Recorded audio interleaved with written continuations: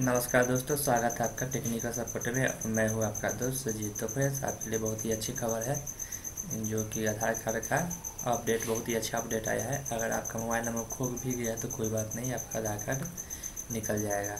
और वो भी प्लास्टिक कार्ड आपके घर पर बन के आ जाएगा। तो चलिए फ्रेंड्स हम बता देते हैं कि वो कैसे होगा। तो आपको सिंपल सा टाइप करना है। यू आई टी आई तो ऊपर में देख रहे होंगे कार्ड का पूरा वेबसाइट आ गया है। ये वाला तो इसको ओके पे क्लिक कर देंगे हम। ओके पे क्लिक करने के बाद आपको फ़र्स्ट नंबर में दिख रहा होगा फ़र्स्ट नंबर में, इस पर हम क्लिक कर देंगे।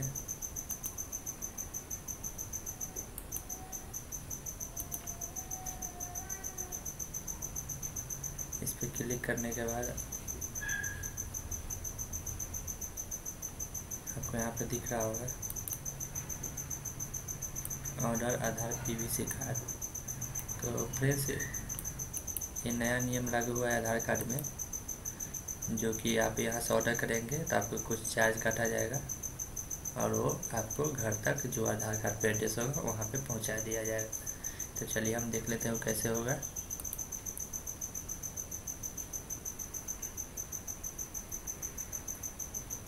इसमें अपना आधार नंबर या कुछ भी डाल सकते हैं। तो चलिए मैं अपना आधार नंबर डाल लेता हूँ।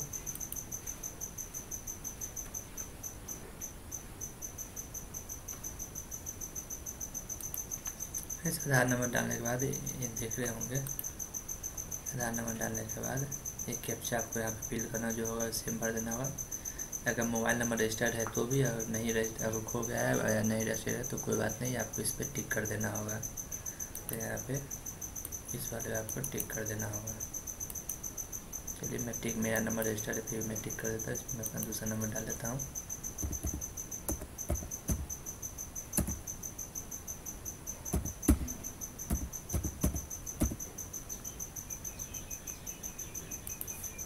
उस नंबर पर ओ जाएगा, जिस जो नंबर आप डाले हो।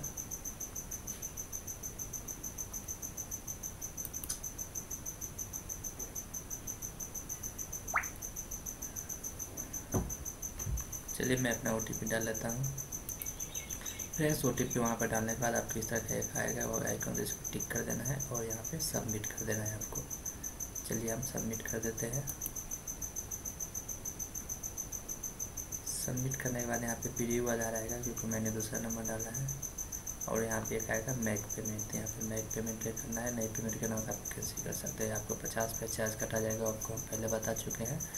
और आधार कार्ड पे जो एड्रेस रहेगा वहीं पे पहुँचाया जाएगा। तो चलिए हम मैक पेमेंट कर लेते हैं।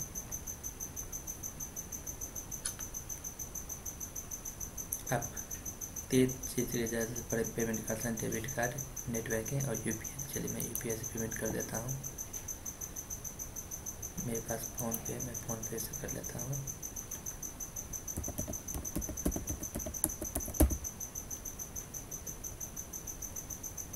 वेरीफाई कर लेंगे हम।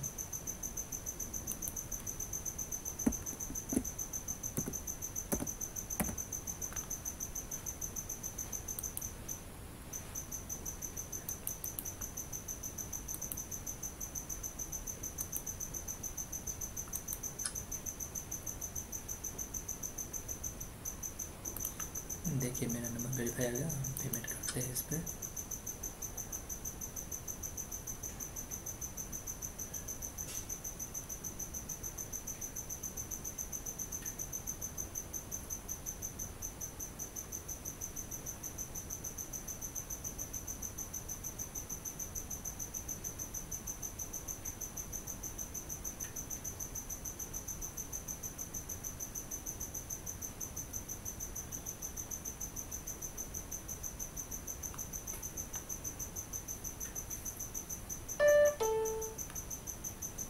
आपका जैसे ही पेमेंट कंप्लीट हो गया यहाँ पे सक्सेस आएगा। देखिए यहाँ पे आपको ये सीरियल नंबर और रसीद नंबर दोनों टाइप करके रख लेना है। ट्रांजेक्शन नंबर भी रख लेना है।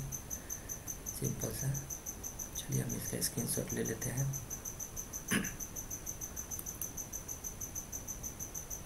अब फिर से आपको पंद्रह दिन के अंदर में बन के मिल जाएगा। तो हमें विश्वास है कि आपने पूरा सीख लिया होगा।